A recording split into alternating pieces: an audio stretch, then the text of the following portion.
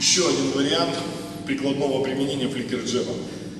То есть, напоминаю, рука у нас расслаблена внизу, и из этого положения наносим хлесткое движение. Не пытайтесь поднимать плечо, еще что-то искусственно делать. Первый вариант – это атака в пах. Кисть расслаблена, из этого положения мы как бы поднимаем, подаваясь вперед. Это можно делать как в естественном положении, можно это делать на оседании. То есть мы уходим вниз, при этом рука вылетает, повторюсь, пальцами расслабленно летит вперед. Как я и говорил, быстрое движение вверх. То же самое мы можем наносить в область горла. Но либо хлестнуть, но так, чтобы с погружением в цель. Либо, как бы, чтобы чуть сквозь нее пройти, чтобы был вот такой хлыст. И точно таким же образом наносим фликер джеб по глазам. Не надо вот коснулись и ушли. Чуть-чуть углубиться надо.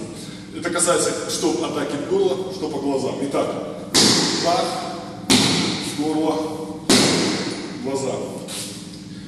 Из этого же положения можно повторить фликер джеб, как делал это Брюс Ли, пальцами. В пах это уже не получится, а вот в горло и в глаза вполне. Опять же, рука быстро вскидывается и чуть-чуть за счет плеча удлиняется горло, глаза. Не надо напрягать пальцы, не надо их растопыривать, потому что если что, можете зацепиться и поломать. Поэтому чуть-чуть собраны и вот так вот согнуты.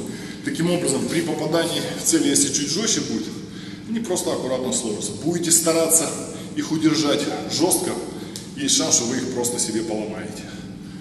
Чтобы поразить глаз и чуть-чуть затруднить дыхание, не надо совсем втыкать пальцы. Будет достаточно легкого тычка. Повторюсь, легкий. Фигликер, джеб – это скорость. Быстрое сбрасывание руки с небольшим продолжением.